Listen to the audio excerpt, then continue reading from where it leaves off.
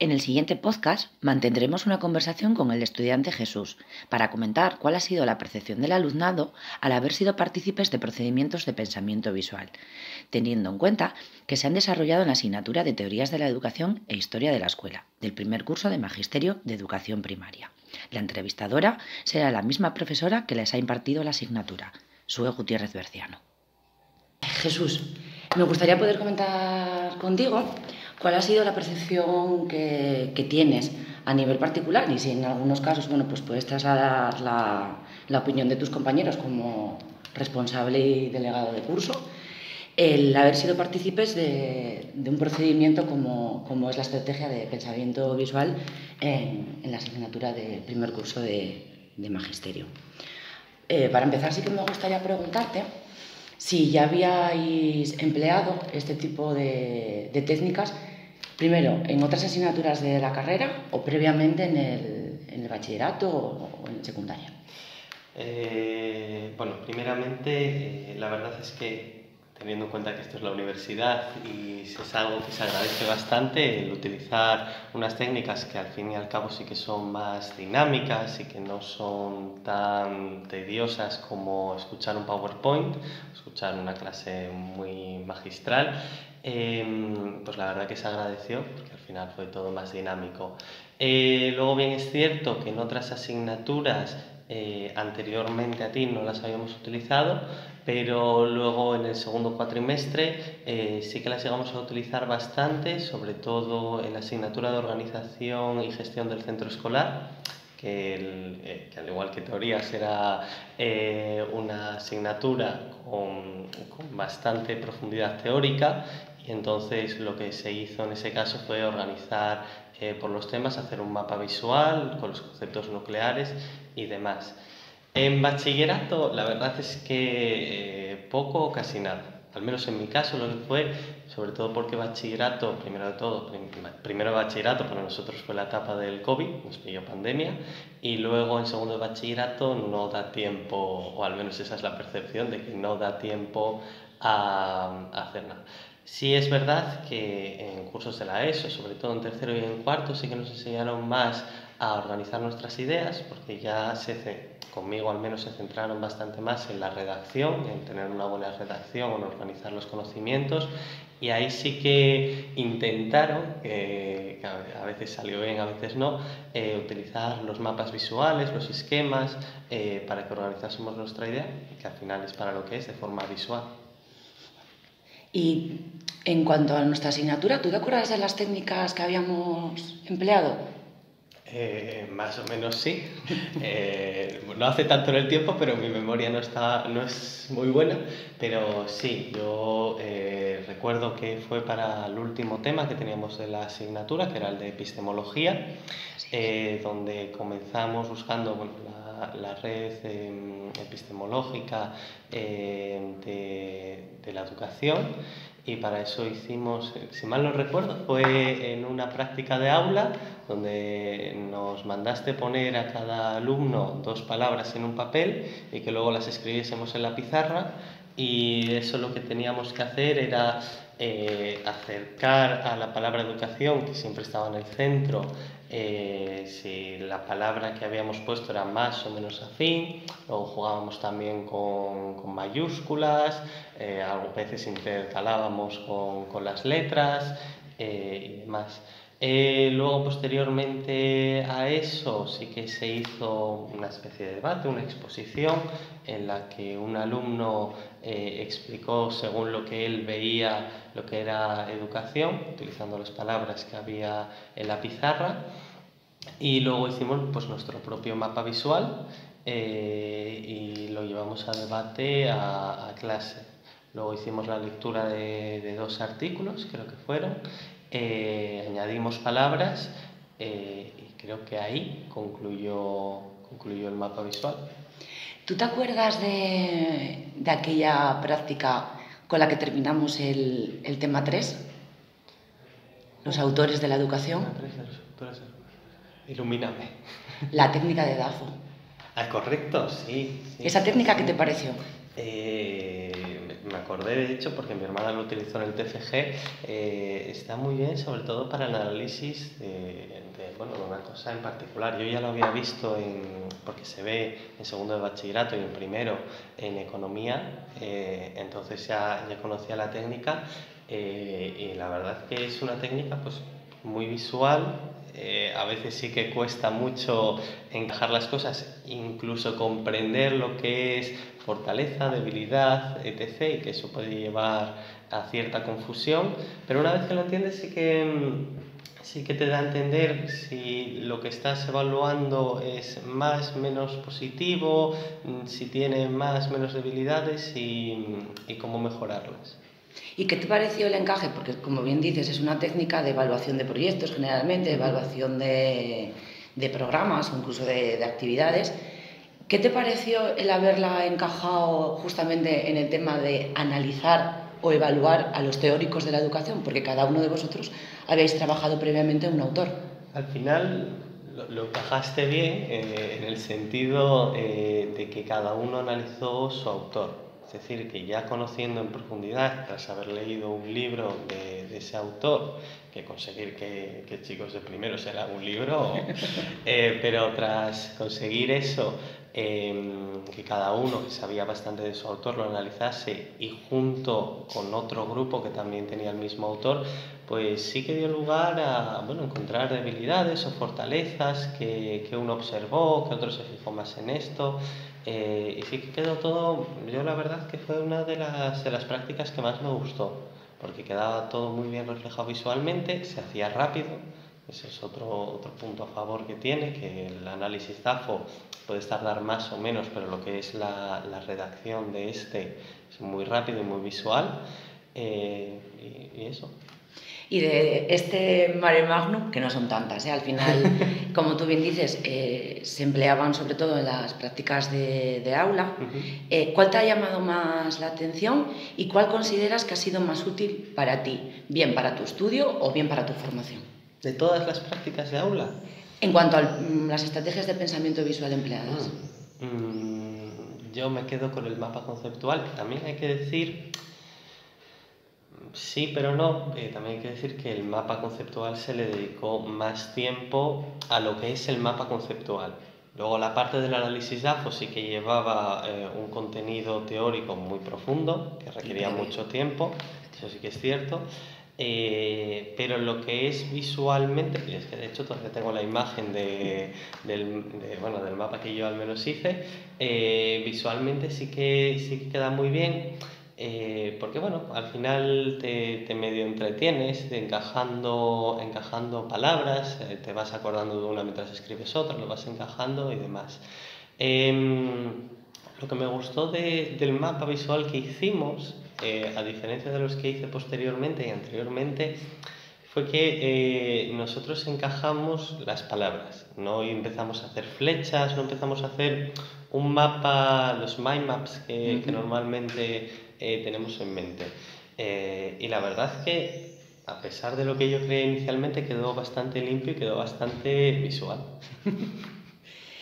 y mm, a lo largo de, como tú bien dices, que al final ha sido como desarrollarlo de otra manera diferente, ¿has encontrado dificultades para su desarrollo o incluso con tus compañeros? ¿En algún momento hay algún tipo de mayor incertidumbre que no sabíais cómo, cómo abordar? Bueno, a ver, incertidumbre, a ver, incertidumbre siempre va a ser, eh, esto siempre se va a encontrar en un aula, eh, que eh, cuando vas a proponer algo diferente, primero siempre vas a encontrar cierto rechazo, y esto eh, lo he visto a lo largo de este primer curso, eh, cuando bien intencionadamente los profesores tratáis de, de hacer algo diferente, que se agradece, pero siempre va a haber un rechazo pues, o bien porque son las 9 de la mañana, o bien porque eh, cada uno solo quiere acabar el día e irse para casa. Eh, y ese es, yo creo que ese es el único problema eh, interno en cuanto a tal que puedes encontrar. Luego bien es cierto que a mí me, me costó más el tema creativo, el tema de, de que quedase más o menos bonito, eh, que al final visualmente sí que ayuda, eso fue algo que, que a mí personalmente me costó.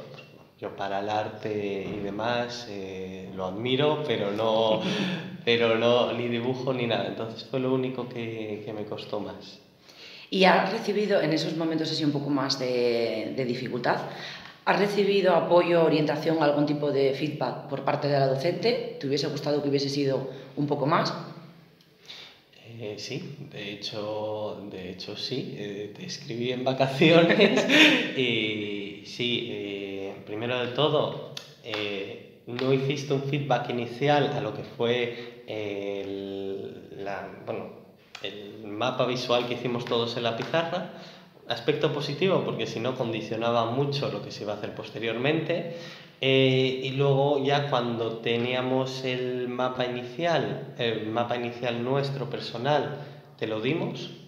Creo que solo lo miraste, no lo corregiste, si no me equivoco. Eh, y luego, tras añadir lo de los artículos, sí que nos diste, sí que nos diste un feedback. ¿Crees que esa libertad que, que os dejé eh, fue en positivo o, o, en algunos casos, por si sabes de tus compañeros, pudo correr en negativo? Fue en positivo en el sentido de lo que es el objetivo de, del mapa visual, que es eh, eh, desarrollar algo que sea visual y personal. Eh, y, pudo, y pudo ser negativo en el sentido de lo que es eh, a la hora de preparar una asignatura, de que siempre estás con la incertidumbre de qué querrá el o la docente eh, de, de, este mapa, que siempre hay esa tendencia del alumnado a, bueno, no a que se lo den todo hecho, pero, pero parecido, que te sí. den unas instrucciones muy claras y concisas de, de lo que se quiere. Entonces ahí sí que hay esa incertidumbre, pero Sí, más adelante vamos a abordar también el tema de, de lo que supuso eh, el enfrentaros a lo que es la evaluación, uh -huh. que también ha, eh, bueno, no, no, te voy a condicionar, pero bueno, hablaremos sobre, sobre el tema. Entonces, en general, la actitud o, sen o sentimiento a través de haberte sido expuesto a esta técnica yo creo que pasas por, por todos los momentos. ¿eh? Eh, como dije al principio, cierto rechazo, eh, simplemente por, por ley de mínimo esfuerzo. Siempre, eh, un mapa visual siempre va a requerir mucho más esfuerzo que lo que vendría siendo, eh, no sé, una ficha, contestar preguntas. ¿Y cuál priorizarías de ese sentimiento ahora, una vez pasado eh, Yo me quedo con una actitud positiva porque al fin y al cabo, eh, cuando ya has superado, esa, has superado ya ese rechazo, la incertidumbre de, de qué querrá, y una vez ya te lo han evaluado y tras el esfuerzo dedicado ves que la evaluación ha sido positiva, pues ya te quedas, te, quedas con el conocimiento adquirido y con una actitud bueno, positiva y, y no me sale ahora la otra palabra.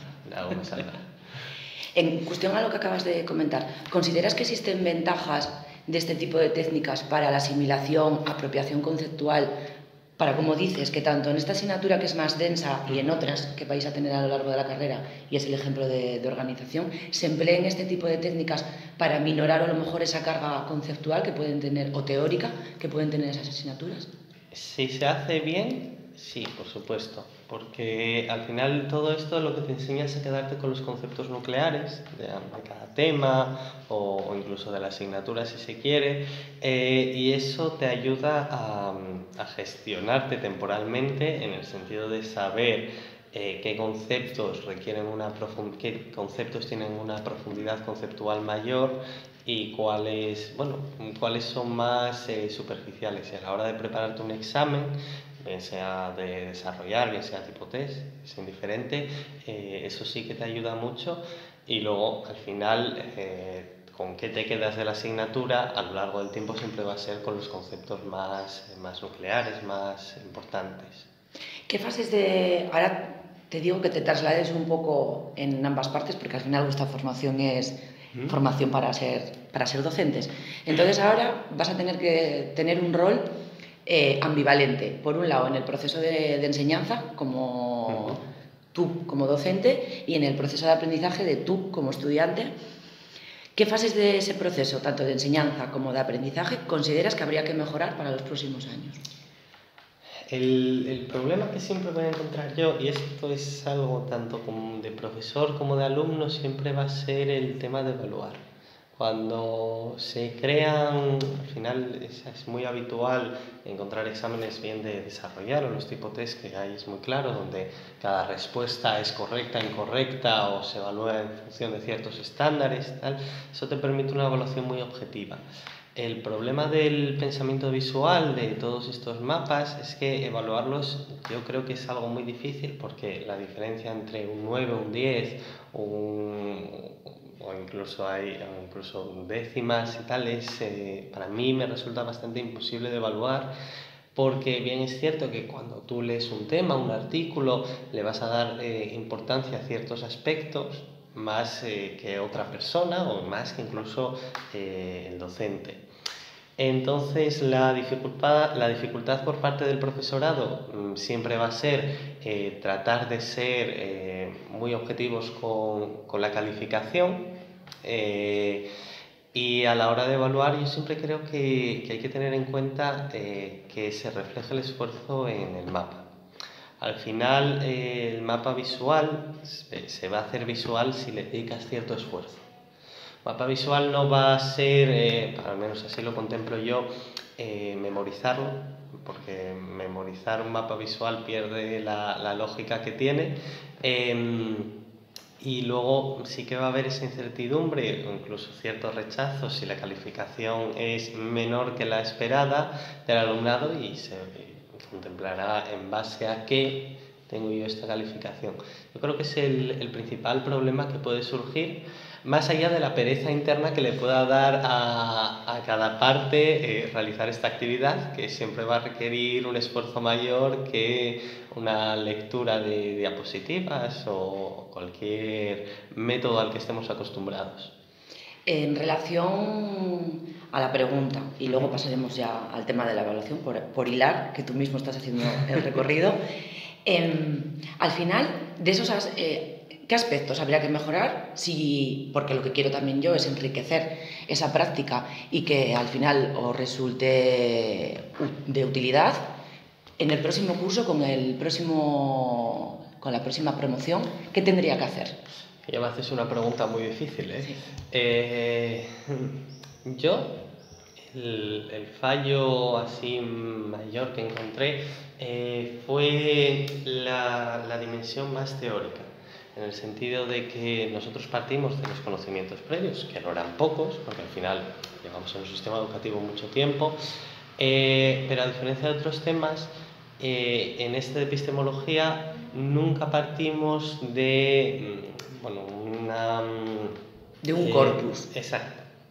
No partimos de, de, bueno, unos artículos, unas diapositivas, un material base sobre el que partimos todos. Eh, no te sabría decir si eso va a ser más o menos enriquecedor, porque hay un poco la, la cuestión del asunto. Si todos parten del mismo corpus, si todos parten del mismo material base, sí que se va a homogeneizar en cierta manera los, eh, los mapas conceptuales, pero también sí que van a aprender más, eh, o a lo mejor no, a lo mejor todo, lo que, todo ese material base ya lo saben.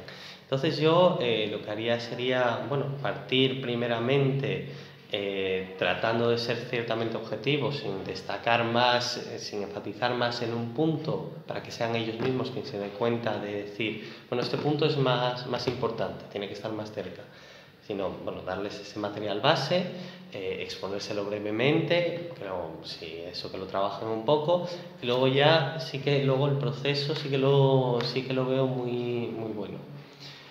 A lo mejor finalizaría la actividad con una comparación entre mapas visuales. Bien. Bueno, pues eh, para finalizar, eh, Jesús, preguntarte, ¿Y esto es una encerrona? uy, uy, me vas a comprometer. Si es algo de la universidad, no respondo. ¿eh? ¿Cómo definirías tú esta estrategia, que, esta estrategia de pensamiento visual que engloba tantas técnicas? Desde el punto de vista docente debe ser agotador. Eh, no, bueno, es cierto. ¿eh? Yo encuentro que es una técnica desde el punto de vista docente que puede llegar a ser bastante cansado porque requiere una evaluación inicial, una evaluación final, una evaluación continua de, esa, de ese apartado, el saber guiar bien al alumnado, porque quieras o no, es, es una habilidad que, que, como docente se necesita, al menos para hacer esta, esta actividad, saber guiar a un grupo que normalmente es muy grande y en la universidad aún más. Eh, ¿Cuántos erais, dilo? 30, en, las, eh, en las prácticas de aula, 30 y pico tranquilamente. Bueno, y las de teoría, que éramos 80. Ahí está. Para que quede constancia. Sí, sí. Eh, saber guiar a, a, un grupo de alumnado muy grande y que lo hagan bien. Que saber guiarles eh, acorde más o menos con lo, que, con lo que necesitan. Desde el punto de vista del alumnado, mm, para dar un tema de epistemología, muy útil. O sea, en comparación a cómo se puede llegar a dar. Eh, y también sí que es cierto que, hilando con esto, hay que tener en cuenta con qué tema se va a usar. En el sentido de eh, usarlo sobre todo en temas con una mucha amplitud conceptual, que, que requieren un mayor desarrollo eh, por parte del alumnado, porque quieras o no, el mapa conceptual te obliga sí o sí a pararte a pensar y reflexionar. Al salir del paso tienes que pararte a reflexionar un poco. Em, entonces, bueno, yo, a mí me gustó como, como estrategia docente, a mí me gustó sobre todo, no, no, lo aplicamos así, pero si se tuviese que explicar o defender, piense a poniéndonos de cara a posiciones o de cara a un TFG, el utilizar un mapa conceptual para dejar claro qué matices, qué, qué conceptos nucleares tengo que demostrar, pues, pues sí, la verdad que es, es una habilidad muy útil que espero que se trabaje a lo largo de la carrera. Y ya, la última, de verdad, te comentaría. Al final estamos hablando eh, como docente de la universidad y tú como mm. estudiante en la universidad, pero como futuro maestro. Mm. Entonces, me interesan dos puntos.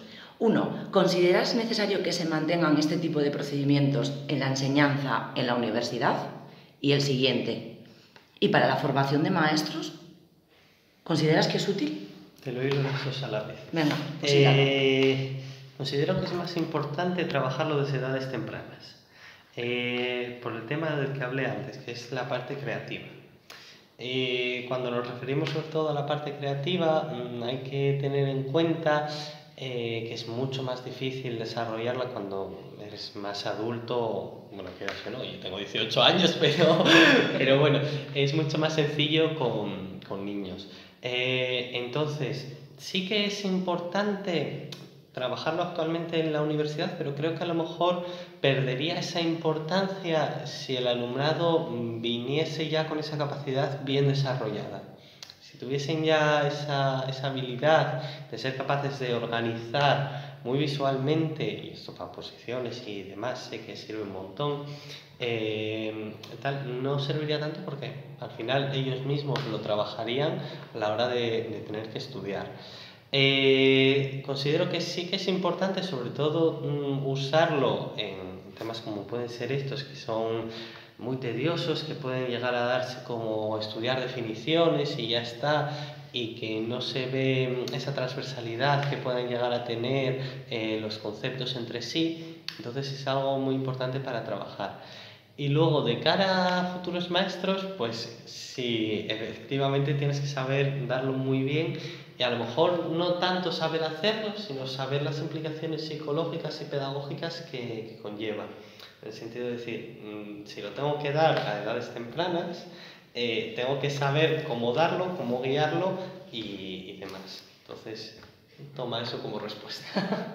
pues tengo, tengo que hacerte la última, porque es que me, me lo acabas de dejar eh, como colofón.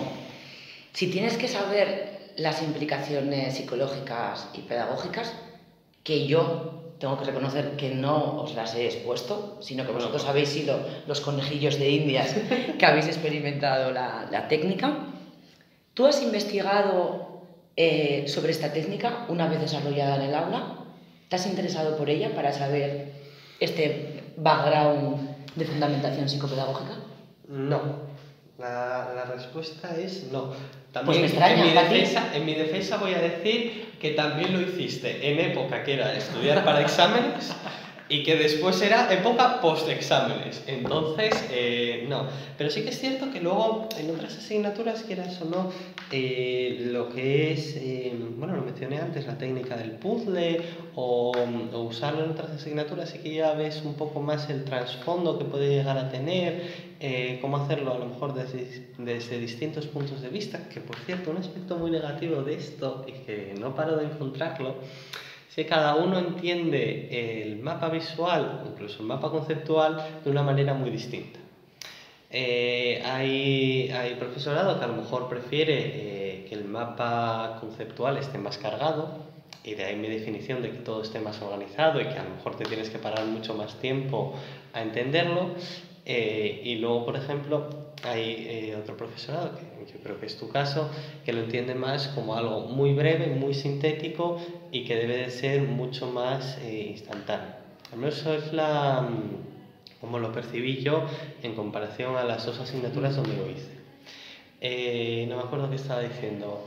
ah, sí, lo de luego eso, en otras asignaturas sí que, sí que lo pude ver, sí que lo bueno, profundizamos un poco más y luego en asignaturas, bueno, pues de psicología, no directamente esto, pero bueno, la importancia de la organización de las cosas en el alumnado eh, en cuanto a objetos, bien en los dibujos, como puede ser en el test de la familia eh, y demás, sí que bueno, se toca ese tema.